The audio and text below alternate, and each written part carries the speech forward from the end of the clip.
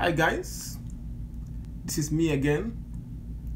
Uh, this is the second video in my statistics series. Today we continue with our topic of um, probability. Probability is a broad area in the field of statistics, but I'm going to make it easy for you. I'm going to break the lectures into part by part. And I will guarantee you, by the time you watch all my lectures, you're going to be very proficient in the concept of probability. Now let's start.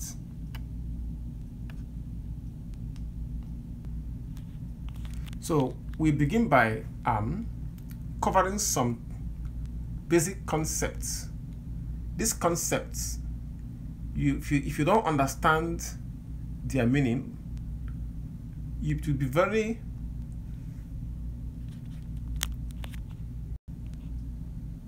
it will be very um, hard for you to understand the principle of probability. So those concepts uh, include what we call probability experiment, outcome, sample space, and event. So let us discuss them one by one. The first one is, is what we call the probability experiment.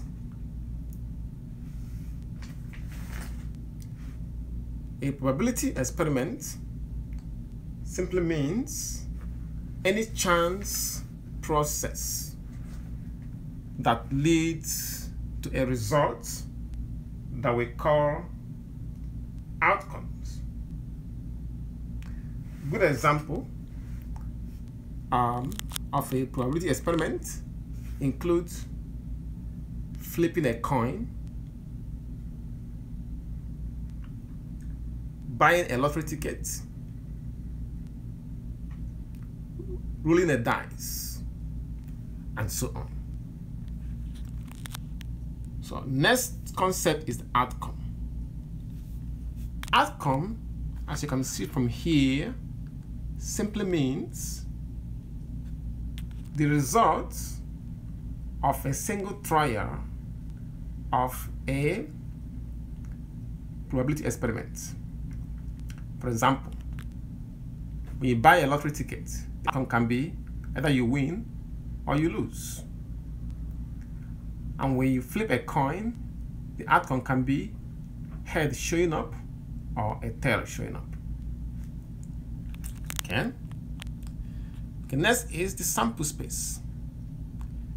Sample space, all the possible outcome, all the possible outcome of a probability experiment we call sample space. I'm going to give you more, more examples on this in the next uh, slide. But let's look at event. Event since means any set of outcomes. Uh, usually examples will help you to understand this concept. So we're going to move to the next slide so I can, that I can show you the examples of these concepts. Okay. Suppose the experiment is this. Roll a dice. See? The outcome is a 3 showing up. Now, all the possible outcomes are 1, 2, 3, 4, 5, 6. This is for all the possible outcomes for a dice because a dice has 6 sides. Now, remember the event is a set of outcomes. Look at this. The event even number is 246 because there are three even numbers in a dice. At this point, I'm going to show you more examples of what we mean by probability experiments and sample space. Look at this chart here. On one side are the probability experiments and on the right side is are the sample spaces, which are all the possible outcomes. For example, the experiment flip a coin, the outcome can be head showing or tail showing. Roll a dice, the sample space can be or is for a dice because the dice has six sides. So one, two, three, four, five, six. These are numbers that are on the dice. When I say dice, it is, um, some people might not know what it means. Look at the dice right here on the left side. You can see a dice right here. That's the dice right here. And this is the coin that I'm talking about, okay? Now, the experiment of uh, selecting a day of the week, the, all the possible outcomes are Monday, Tuesday, Wednesday, Thursday, Friday, Saturday, Sunday. And this forms the sample space for selecting a day of the week. Okay? Now, at this point, we are ready to solve one question involving sample space. The question says, find the sample space for drawing one card from an ordinary deck of cards, okay? Before we can answer that, we, we need to know what an ordinary deck of cards looks like, okay? Here is an ordinary deck, a deck of cards. You can see the numbers there and the cards these are the suits. They have four suits. Club, diamond, heart, and spade. Then each suit has how many cards? Look at this. Uh, let's say club. How many cards in club? One, two, three, four, five, six, seven, eight, nine, ten, eleven, twelve, thirteen. So each of the suits have how many cards? 13 cards. The clubs have 13 cards. The diamond has 13 cards.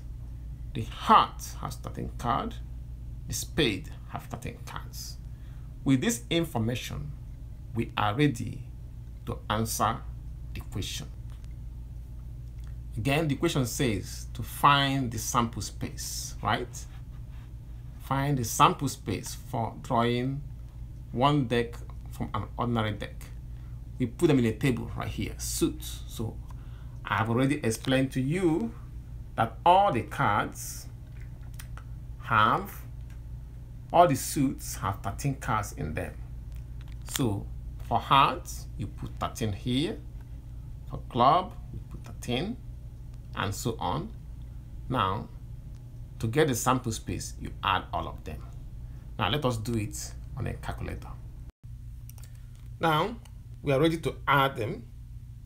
Um, like I said in my previous lectures, people usually understand it, uh, or I will say this way. Let me put it on this way. Student understands maths better when they watch you do it. So that's why I'm going to show you how we got the sample space. Now you can see that heart has 13 cards, club 13, diamond 13, spade 13. So sample space, we add all of them. Look at the calculator. Have that, um, okay, 13 for heart plus 13 for club plus um, 13 for diamond plus 13 for spade and they give us 52 see?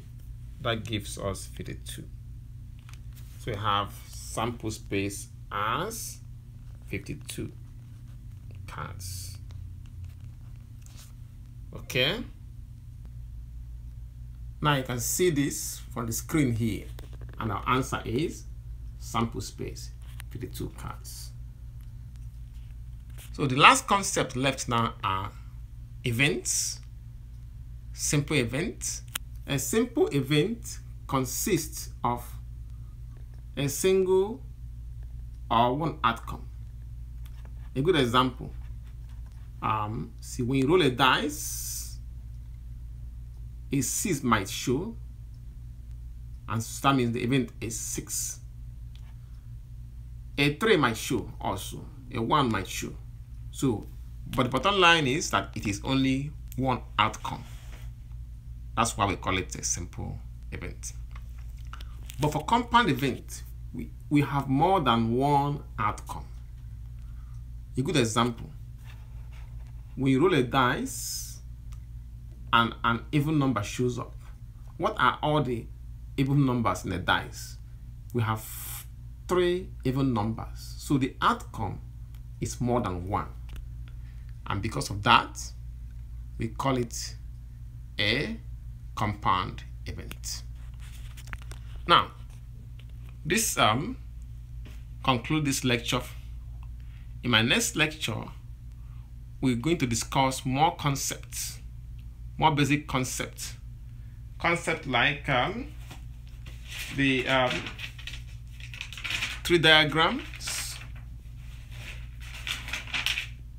the types of probability, and so on and so forth. So, but before going to tree diagram, I will first of all discuss the types of probability. That will be in my next lecture in this series. Uh, once again, thank you for listening to my lectures, and um, I will see you in the next lecture. Bye bye.